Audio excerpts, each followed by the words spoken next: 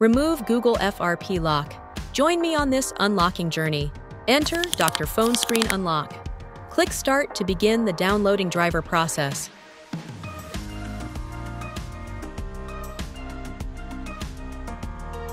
Next, follow the on-screen instructions with me.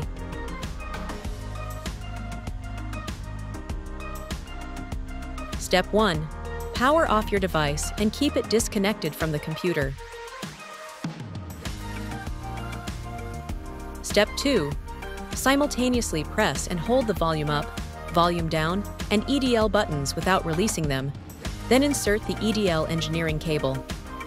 Step 3. Release the volume up and volume down buttons and repeat the following action about 15 times. Step 4. Release the EDL button.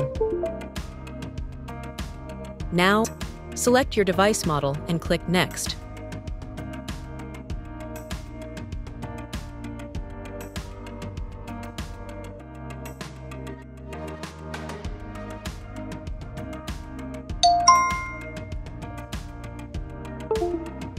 The FRP lock removal is now complete.